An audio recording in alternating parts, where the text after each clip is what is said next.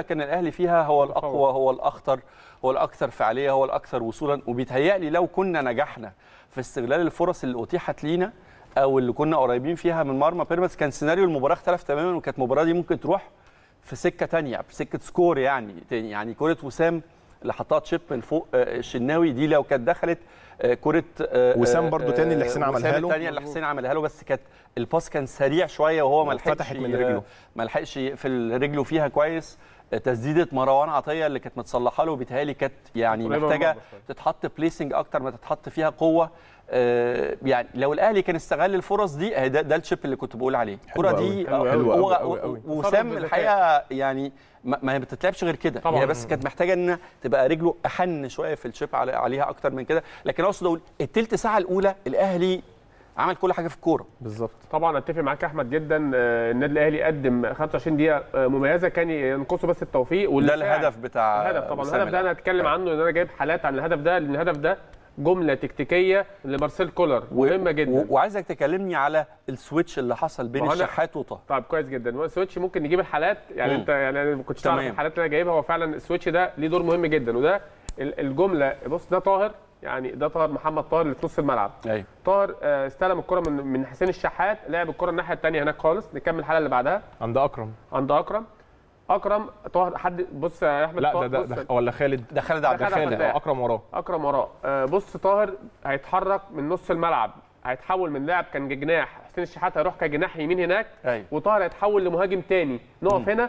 طاهر محمد طاهر هو عند نقطة الجزاء. نقطة آه. الجزاء أيوة. والجملة دي مارسيل كولر بقاله أكتر من أربع خمس مباريات بيعملها عملها مع عمرو السولية وكان هو اللي بيتحول وأنا جايب حالات لعمرو السولية في مباراتين الجيش وهو بيتحرك بنفس المكان والنادي الاهلي بيحرز منهم أهداف لوحده خالص لوحده اتكلمنا خالص. عنها آه الحلقة لا اللي وفي حاجة تانية بص المدافع بتاع بيراميدز تلقائيا هيعمل إيه؟ طيب أنت دلوقتي لو مدافع هيروح هتروح؟ على. طه وده اللي هيحصل الحالة اللي آه. بعدها مدافع بيراميدز أعتقد محمود مرعي هيتحرك. نكمل الحاله اللي بعدها. نروح الصورة السلايد الثاني اللي بعده. حسين الشحات هيعرض الكورة. طبعا المدافع المدافع. راح على. راح على طاهر وسام علي طبعا لوحده. ده يبين ذكاء مارسيل كولر. ذكاء طاهر في إن هو بيكافئ آه، كولر في آه، طبعا توظيفه في مركز المهاجم الوهمي اللي كل المدافعين آه، مش واخدين بالهم إن طاهر جاي من الخلف. ودي حاجة كولر بدأ يعملها بالفترة الكبيرة عملها مع حمدي فتحي في أوقات كتيرة جدا ودائما بتنجح في المباريات الكبيرة. عملها قبل كده في مباراة الزمالك مع حمدي فتحي عملها في مباراة بيراميدز أيضا مع حمدي فتحي والنهاردة وسام أبو علي برضه بيتحرك تحركات نموذجية تحركات بتخلق مساحات للعيبة اللي جاية من الخلف.